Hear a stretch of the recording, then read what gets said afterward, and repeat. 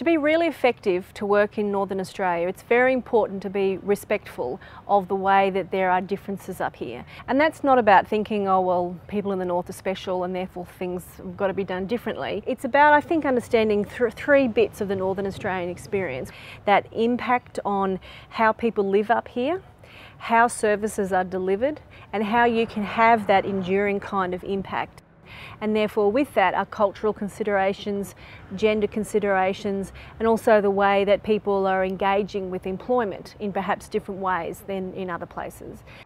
One is that most of the Indigenous population of Australia are in the north. Our teams work across a whole lot of different cultural landscapes. Some people are working in Arnhem Land, the Yolngu language group. Other people are over in Western Australia where there's different kind of, you know, Jaru and Walmatjarri. Other people are up the Dampier Peninsula while others are down in Central Australia.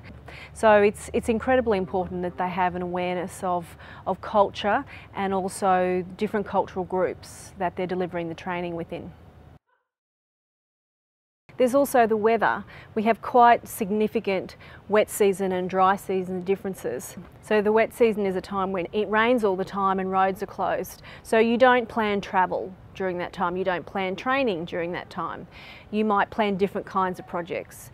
Then in the dry season, it's kind of like, yes, now we can travel and we can go to places, but that might also mean that a lot of your clients are probably going to go out bush during that time. So they might not be in the community where you actually need to engage with them. And then there's just also the geography. In Darwin, Northern Territory, we don't have a huge population, maybe 240,000 people for the whole of the state. So that's quite significant when you're thinking of, of who you're working with and, and how you're working.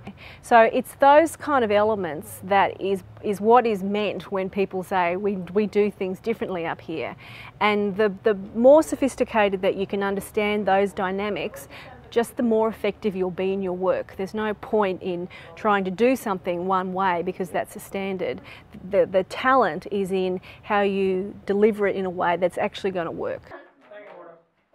And I suppose one of the real joys and, and, motivators in working with Indigenous communities is that people in those communities have got knowledge, particular cultural knowledge, but also ways of treating each other that often is never well, never well publicised, um, and lots of people outside of the communities know anything about.